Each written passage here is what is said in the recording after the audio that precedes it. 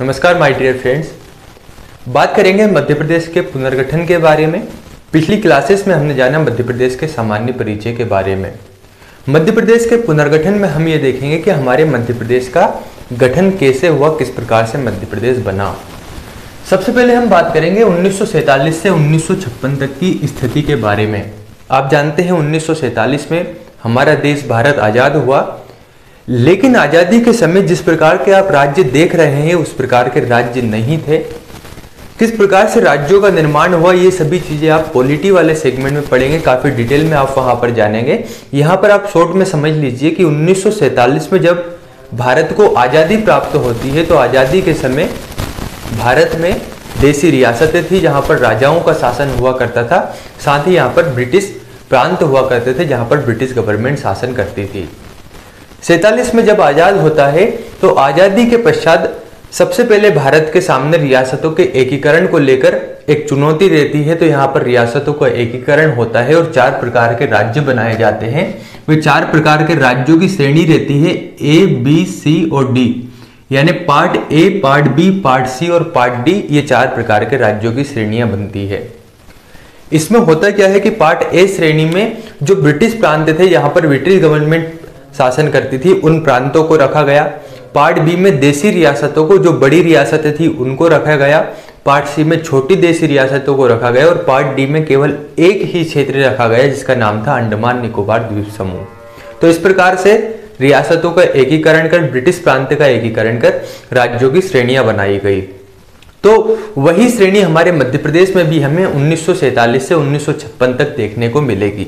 तो अब देखिए जो हमारे मध्य प्रदेश का मानचित्र था 1947 से 1956 तक कुछ इस प्रकार से मध्य प्रदेश का मानचित्र देखने को मिलेगा और कुछ इस प्रकार से यहाँ पर प्रांतों का आ, कह सकते थे डिवीज़न था। तो अब आप देखिए 1947 से 1956 तक की स्थिति। यह है हमारा मध्य प्रदेश। मध्य प्रदेश में ये वाला जो क्षेत्र था इधर की ओर यहाँ पर था ब्रिटिश गवर्नमेंट का शासन।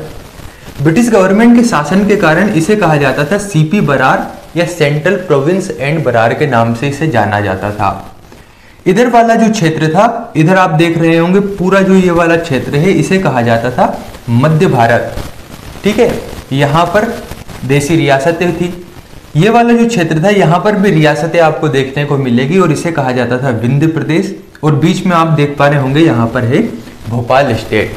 तो हुआ क्या 1947 से 1956 तक जब चार प्रकार के राज्यों की श्रेणी बनाई तो हमने कहा, पार्ट ए में ब्रिटिश प्रांतों को रखा गया। तो ये वाला क्षेत्र था ब्रिटिश प्रांत। इसे कहा जाता था सीपी बरार, यानी सेंट्रल प्रोविंस एंड बरार। तो इस क्षेत्र को रख दिया गया पार्ट ए में। ठीक है तो पार्ट ए में क्या शामिल हुआ? सीपी बरार पार्ट ए में शामिल हुआ। अब इसकी राजधानी बनाई गई। तो इसकी जो राजधानी बनाई गई, वह राजधानी बनाई गई नागपुर। तो अब प्रश्न कैसे बनता है? कि सीपी बरार की राजधानी क्या थी तो आपको ध्यान रखना है सीपी बरार की थी राजधानी नागपुर। ये इस प्रकार से यहाँ पर कार्य होता है। इसके बाद इसे जो शामिल किया गया, भारत संघ में इसे उन्नीस में ही पार्ट ए में शामिल किया गया। इसके बाद पहुँचते हैं मध्य भारत की ओर। मध्य भारत को पार्ट बी में रखा गया, क्योंकि यहाँ पर बहुत सी बड़ी रियासतें देखने को मिलेगी। इसके साथ ही पार्ट बी को जब सॉरी, कह सकते हैं हम मध्य भारत को पार्ट बी में रखा गया तो यहाँ की दो राजधानियाँ बनाई गई। एक राजधानी थी इंदौर और एक थी ग्वालियर। यहाँ पर छह माह पार्ट बी की राजधानी इंदौर रहती थी और छह माह ग्वालियर रहती थी। इसके बाद हमने कहा, क्या कहा था कि जो पार्ट सी स्टेट था, इस पार्ट सी स्टेट में छोटी छोटी रियासतों को रखा गया। जैसे इस विंध्य प्रदेश में लगभग 38 रियासतें थी तो इन 38 रियासतों को पार्ट सी में रखा गया। इसके अलावा भोपाल स्टेट को भी पार्ट सी में रखा गया। आगे की ओर आप देख पा रहे होंगे, पार्ट डी तो पार्ट डी में एकमात्र क्षेत्र अंडमान निकोबार द्वीप समूह को रखा गया था, इसलिए इसका ज़िक्र आपको नहीं मिलेगा। तो इस प्रकार से मध्य प्रदेश के जो क्षेत्र थे, उन्हें पार्ट ए, पार्ट बी और पार्ट सी वाले स्टेट या प्रांत में रखे गए। तो आपको ये ध्यान रखना है कि पार्ट ए में कौन सा क्षेत्र शामिल था, पार्ट बी में कौन सा क्षेत्र शामिल था, पार्ट सी में कौन सा क्षेत्र शामिल था। एक बार और मैं आपको बता देता हूँ। पार्ट ए में शामिल किया गया सीपी बरार, इसकी राजधानी थी नागपुर। पार्ट बी में मध्य भारत को शामिल किया गया, इसकी राजधानी इंदौर और ग्वालियर थी। पार्ट सी में विंध्य प्रदेश को और भोपाल स्टेट दोनों को शामिल किया गया। विंध्य प्रदेश की राजधानी रीवा, जबकि भोपाल स्टेट की भोपाल थी। अब इससे संबंधित कुछ प्रश्न जो पूछे जाते हैं, वो आप देखिए। जो पार्ट ए स्टेट था, इस पार्ट ए स्टेट को यानी कि सीपी बरार को पार्ट ए स्टेट में कब शामिल किया गया? तो वे किया गया था उन्नीस में। प्रश्न यही बनता है।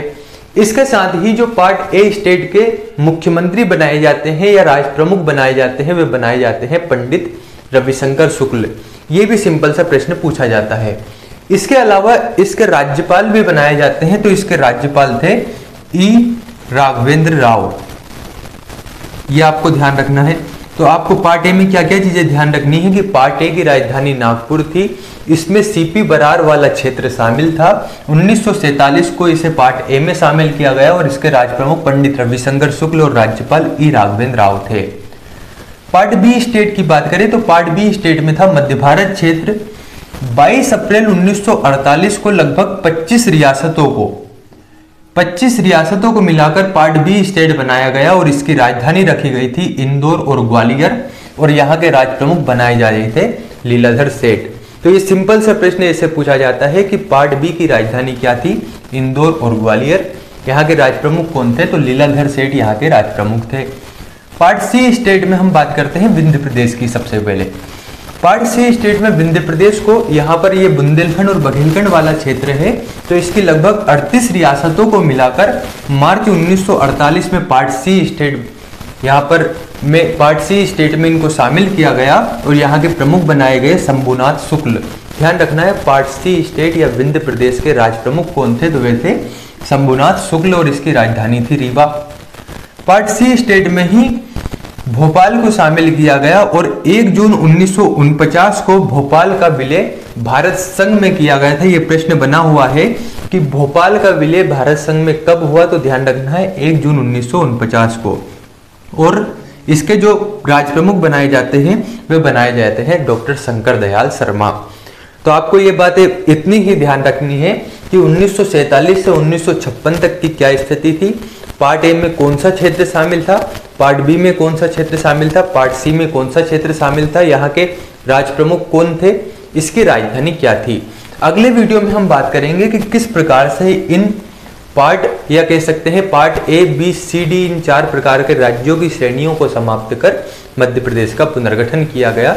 इसके बारे में अगले वीडियो में बात करेंगे। मिलते हैं अगले वीडियो में। धन्यवाद।